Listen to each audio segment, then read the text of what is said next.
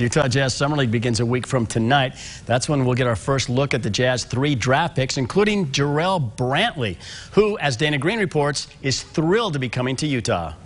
There wasn't much fanfare when Jarrell Brantley got drafted. In fact, it happened during a commercial break. Me and my family had a few people over, a few family and friends over, and uh, we was just chilling. And, uh, you know, my mom started going crazy. She was like, that's your name, that's your name. And after that, the rest was history. It was a lot of emotion in the room. That's just how Brantley played at Charleston for four years with emotion. I've always had the passion, you know, um, for the for the sport and for the game. It started early. Uh, I was a little bit of a late bloomer in the same, though. So uh, it's been a grind. It's been a journey. Coming from a smaller school and getting drafted in the second round, Brantley's coming to the Jazz with a lot to prove. Um, they're actually, you know, a championship contending um, organization. Um, I don't know where I fit in there. I don't know what, what happens, but I, I know that I'll go in there and grind because I know that's what's, what's got me this far. My coaches always told me if, if, you, if you can play, they'll find you.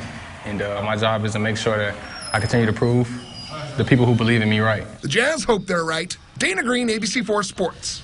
Thanks, Dana.